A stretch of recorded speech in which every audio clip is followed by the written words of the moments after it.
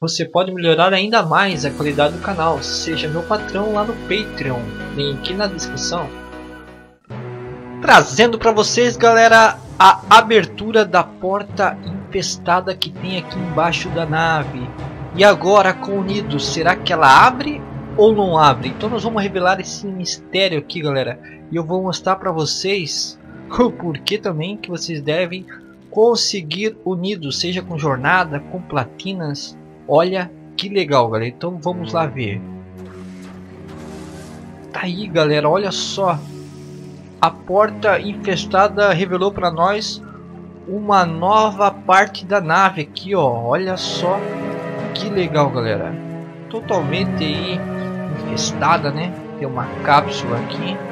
Ainda que está explicando ali embaixo está tudo em inglês. Se você entende inglês, você vai poder entender melhor.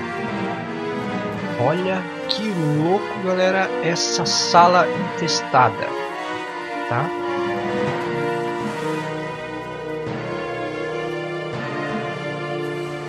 Que louco, galera.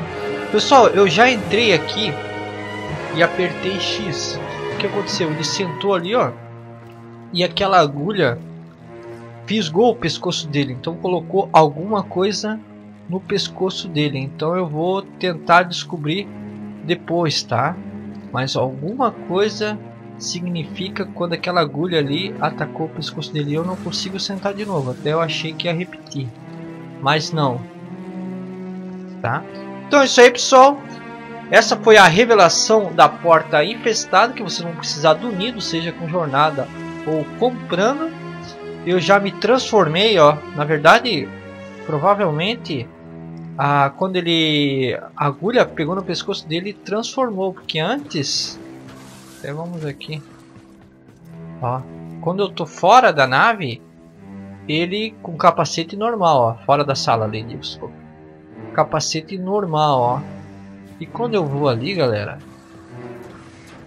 olha só já libera tudo olha só já abre o capacete abre o cotovelo as costas ele já se transforma completamente, a sua mutação completa.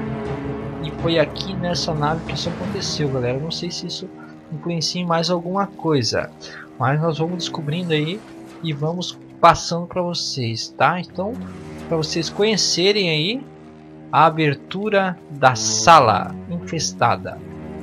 Beleza, galera?